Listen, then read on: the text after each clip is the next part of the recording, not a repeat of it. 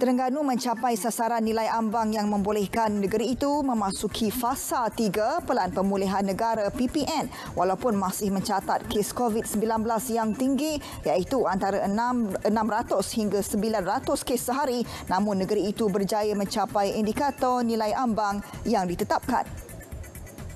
Pengarah Kesihatan Negeri Datuk Dr. Kasmani Embung berkata, indikator tersebut ialah kemasukan harian ke hospital bagi pesakit kategori 4 bagi kategori pesakit 3, 4 dan 5 serta penggunaan katil di unit rawatan rapi di bawah 70%. Sementara itu, peralihan ke fasa ketiga PPN di negeri ini juga antara kejayaan semua rakyat terutama mematuhi SOP yang ditetapkan.